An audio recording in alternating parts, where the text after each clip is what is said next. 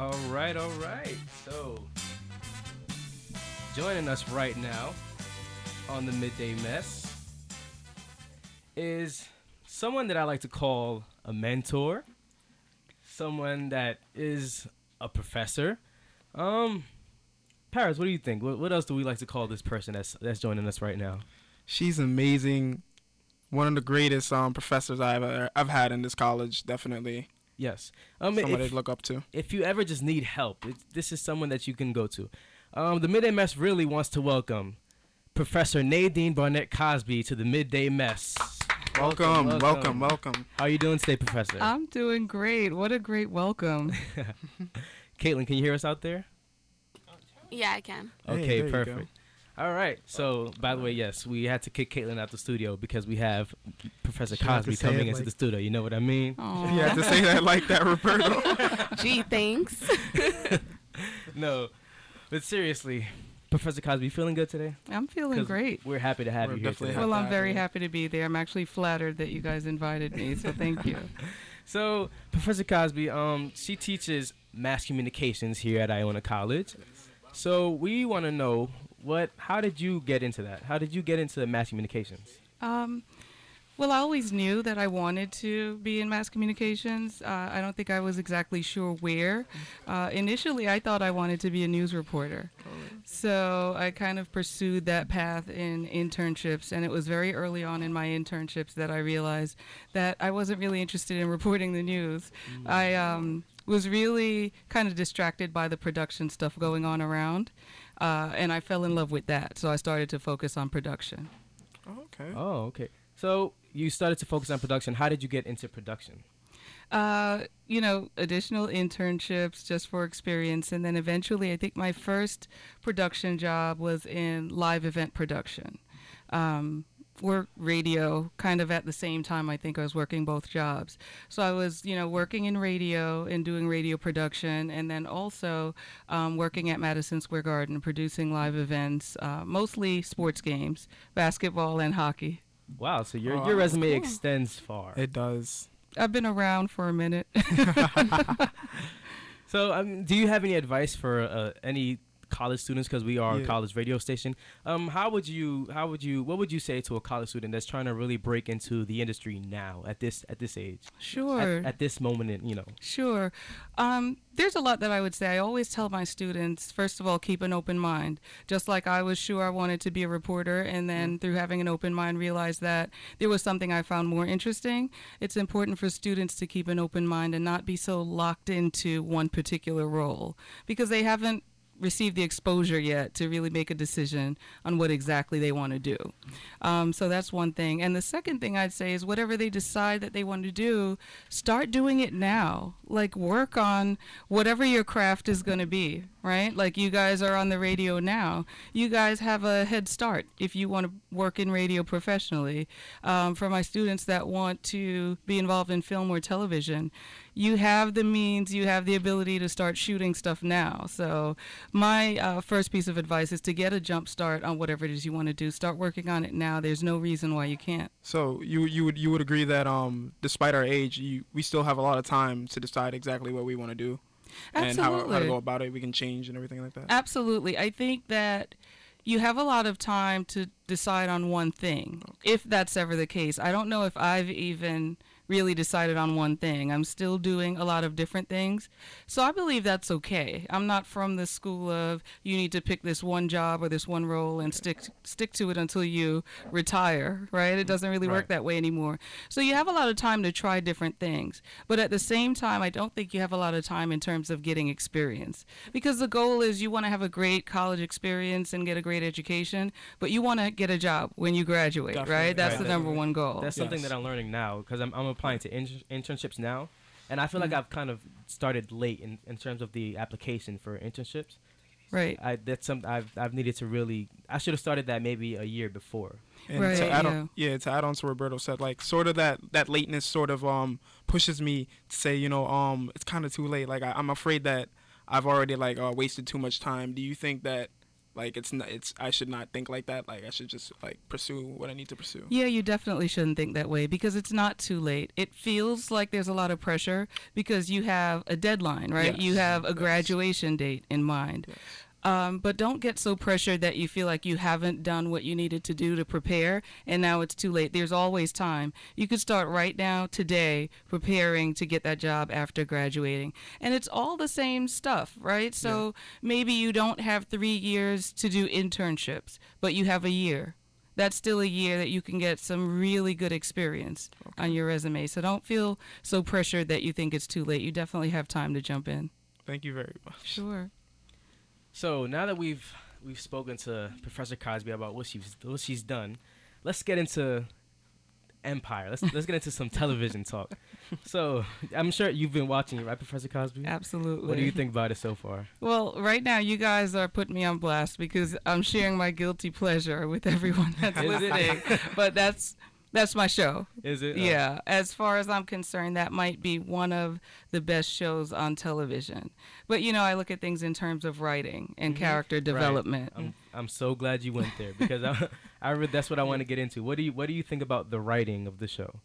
excellent writing excellent writing i know that um you know some of it could be considered offensive and i'm sure we're going to talk about that but the reality is the characters are fully developed the plot is expansive. We're looking at lots of different characters lots of different lives and storylines that are affected and they all affect each other as well. Um, so yeah i'm a big fan of the writing.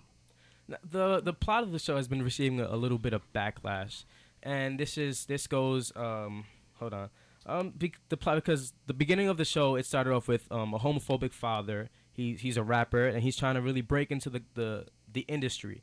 And so we have his his wife who starts they're trying to basically get some startup money. So they start dealing drugs. Um, they get caught and the wife takes the fall. This is we're talking about Cookie here. And um the, um, what do you think about the backlash on the plot? you know for me it's it's it's unfounded. I don't have a problem with the plot Right. itself. I don't have a problem with that backstory. Um, it's just that. It's backstory that explains how we've arrived at the present Right. right, with these complex relationships between characters. Now there there could have been a hundred different backstories that allowed us to arrive at the same place or a similar place, right? But maybe um, not as nuanced to fit these particular characters and the way they interact with each other now. Right. I don't have a problem with that. Was it a negative backstory? Yes. Right. Is that a reality for a lot of people in business and a lot of families? Absolutely. So when so wouldn't you I'm sorry. Wouldn't you agree that um it's okay to push the boundaries of um real real life versus like uh you know the normal TV? So you, would you feel like we're gonna get to the point where this all these topics and things won't be um controversial like like they'll be the norm? Do you feel like that? Future I think we should, and I would love to see it happen. I don't know if I believe we'll get to that point. You know, I feel like it's um it's interesting because you know you guys are too young to really understand the, the reference to the show like Dynasty. I don't know if you guys are familiar with it? it, Nope. but I've right, it. it's a, it's it goes way back. But the point is, there used to be a time of these nighttime dramas, Okay. right? Yeah. and they involve families that were, you know, impacted by the fact that many of them were criminals, many of them were very cutthroat and did whatever they could do to either get the family business or take over other businesses. To me, Empire is a throwback to that storyline. So the controversy regarding kind of the negative backstory or the negative behavior of a lot of these um, family members really stems from all of this pressure put on them. It's a show with a predominantly, almost entirely African American Right. cast, and there's all this pressure to, um, I guess, give the perfect representation of African Americans. Unfortunately, shows uh, like Empire typically have that undue pressure put up on them.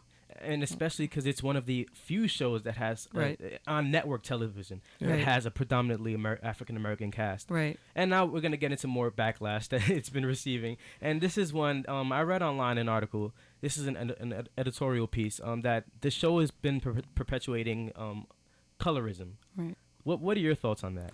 I read that article as well. I think it's pretty ridiculous. You think it's ridiculous? I do. I agree. I just wanted to make sure we were on the same page. But Yeah. go ahead, continue. I, I just think we have to get to the point where we're not reaching to find something so negative about a show. If you look at the cast of the show, like, and not, you know, look at publicity photos that have been photoshopped and lightened or whatever the case is, but if mm-hmm. you just look at the cast, mm-hmm. very diverse. Mm-hmm. Even within it having an African American cast, they're all different shades and sizes and backgrounds playing different characters. If we're going to get past that itself being a big deal, we certainly have to start with not nitpicking between the different shades of black Right. that Yeah, are yeah, represented on the show. Thank you. It's pretty silly. And not only that, it's just they're a family, and if it, it Right. goes, it goes. It's it's something as simple as casting, Right. where the, the family needs to look alike. So Right. if you're gonna have one light skinned person in a family, I think Right. that the rest of them should kind of be light skinned. Right, absolutely. and there needs to be some chemistry. Uh, exactly. you know and and they just work well together and they're all different shades i don't look at it as a completely light skinned cast Right. I agree Um. with that. So, what do you think about um Cookie's character? what do you think about the you know the one the lady who famously well I don't think I don't think she well she she's the one that coined the, tam- the, the term boo boo kitty right? Right. Yes. Right. what do you think about her? I love cookie's character for lots of reasons. I mean the reality is that you know cookie is a mother. Cookie is someone that really gave the ultimate sacrifice to protect her family. And you know in the process of doing that she kind of got left behind. So now she's here you know and has a second chance. She's trying to take advantage of that and rightfully kind of reclaim part of a company that she was the force behind and it was really her ideas and her willpower that built the company. So um, in that i love cookie. I also love cookie and her attitude because i think that you know we all have these different personalities within all of us and we have to be professional in certain environments and and you know we're family people in other environments and then sometimes we're cookie if you know given the right circumstances right. so i have no problem with it. I think she um she just brings a lot of excitement and a lot of depth to the show. I completely agree with you. I I love Cookie. I, I just love every time she's every time she's put up against certain certain characters on the show she she delivers Right. those lines were written for nobody but Taraji P Henson Absolutely. I agree. She brings it every time. And, you know, she's a fighter. And I feel like the majority of women are fighters, right? And have been in different situations where, you know, we feel cornered or we feel like we really have to go after something in order to get it. So she takes her way of doing it, and people have other ways. But mm-hmm. it's just nice to see how she comes out swinging to get whatever she needs to get done for her family. Right.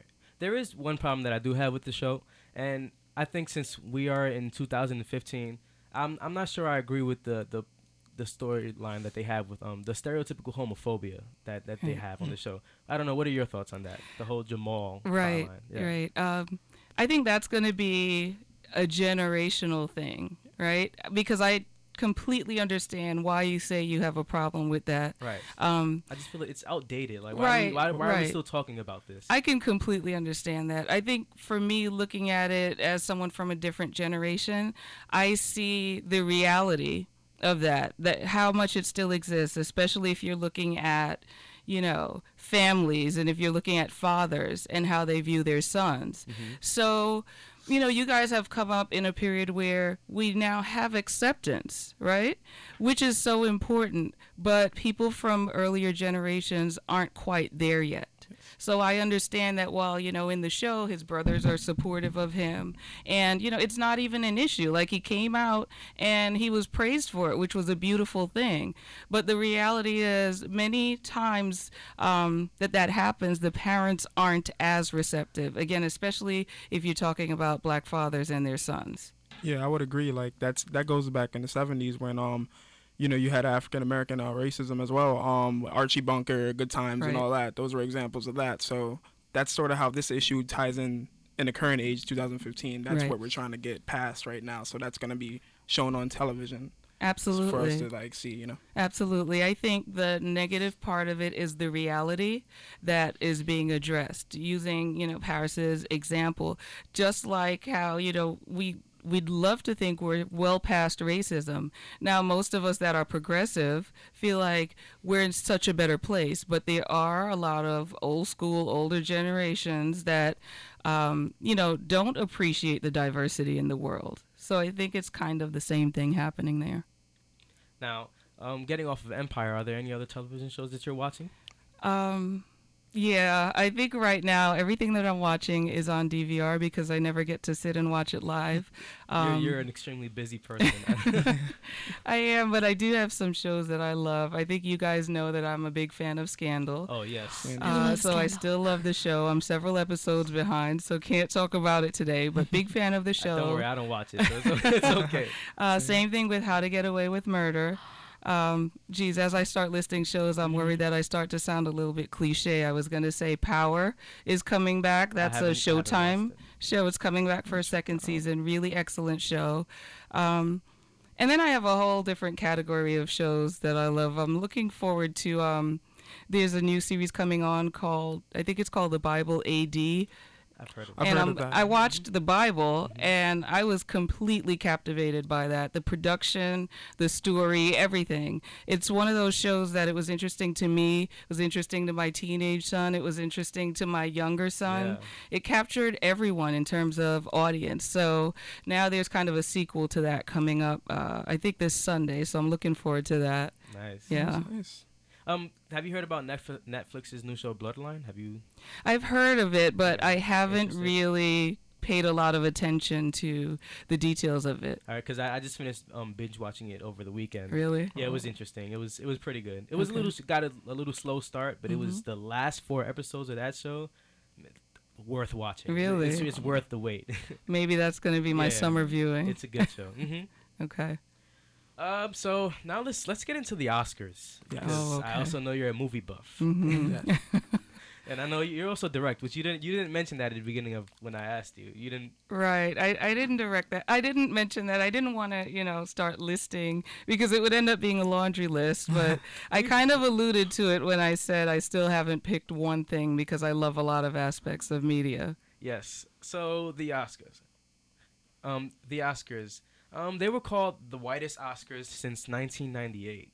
That's Right. that's pretty insane to me, especially in 2015. Why are we still facing this problem of a lack of diversity now Yeah. in this era? Wow, that's a that's a really good question. It's a tough question. Um, I'm not sure why, but I think some things that I've observed using the Oscars specifically as as an example, I think that when uh, films have predominantly black casts or the storylines really involve black characters, um, they're kind of put into this category, right? They Right. become Yeah. black films. Yeah. Right. Yes. I'm not sure Type- why or what that even means, right? Yeah. So I believe that has a lot to do with it. And it's unfortunate because, you know, a great story is a great story. So you can have a film about family or crime or, you know, any aspect of life. And if it's a predominantly white cast, it's it's just a movie, right? It's not called a white movie, Right. but Right. the same isn't true for films that feature black actors in lead roles. Do you think that happened to Selma? I do. I think a couple of things happened to Selma. Like what? Uh, one is that yeah, so it fell under that you know that black movie or black film category, um, and it was a film that had just amazing acting and directing, Directing, you know, writing as well, right? hmm Triple threat, but it fell into that category, and I also think that Selma was largely looked at as something a little bit too deep and too intense um, for, I guess, mainstream audiences to really appreciate it as entertainment Yeah. in terms of the writing, acting, and directing.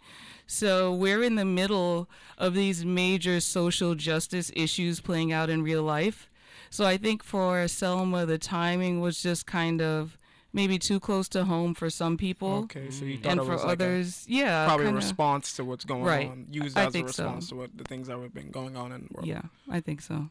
So you're saying that the Academy didn't want to feel like they were playing it, playing into right it, playing yeah. into the, the times. Absolutely. I felt like because of what was going on concurrently with Selma, the movie, and then with real life, the Academy decided to retreat from appearing to take any kind of political stance. Hmm.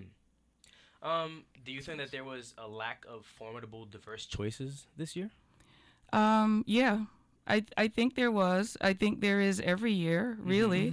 Mhm. Um, I mean, not not, not in the nominees. I'm talking about movies for them to nominate for. You know, in, in general, in movies this year. Do you think there was a lack of formidable, um, Yeah. diverse movies? Oh yeah, definitely. I would say so. And I also think that um you know, it's interesting because again, when we say diverse movies, we go back to looking for movies that have, you know, predominantly black cast Right. and then considering the story and, and whether or not it's worthy of a nomination. I would love to see movies that represent the real world and have diversity within that one movie itself Right.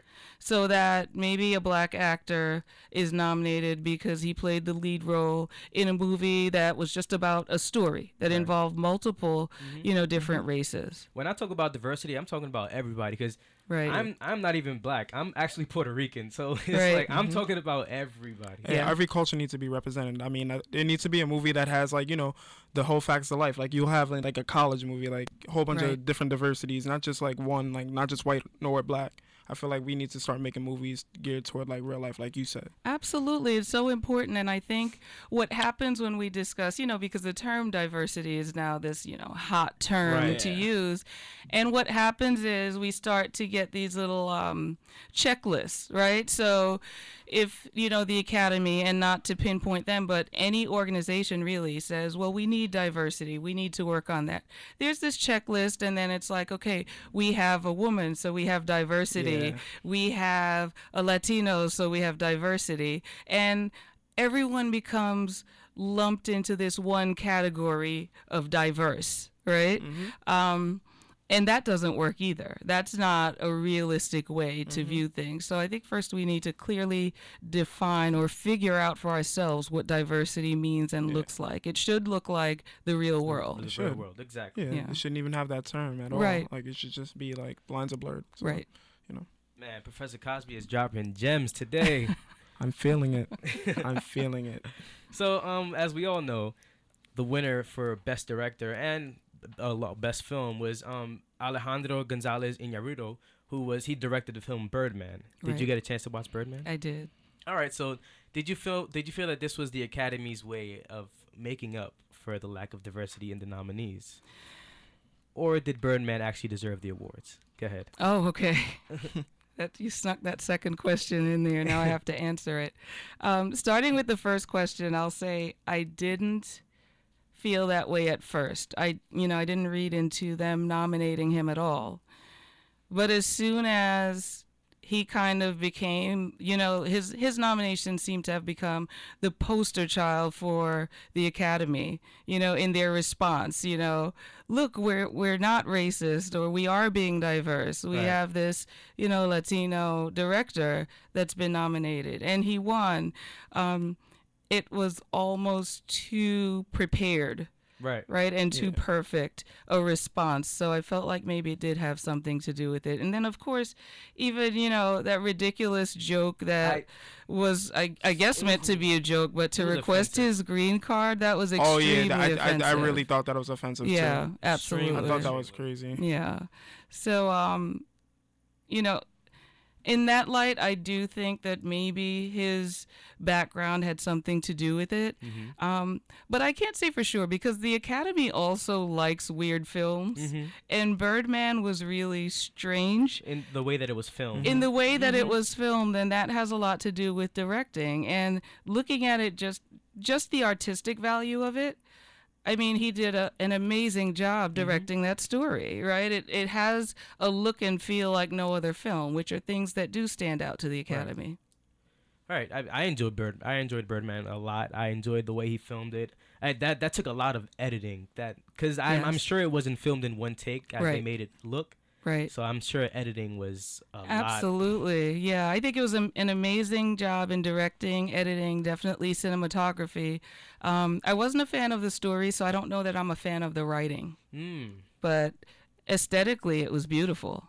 What wait? What didn't you like about the story? Um, I don't know. I just uh I didn't really get into it. Like I didn't get that connection with the characters that I look for, you know, in in the mark of a good film for Okay. me. Okay. All right.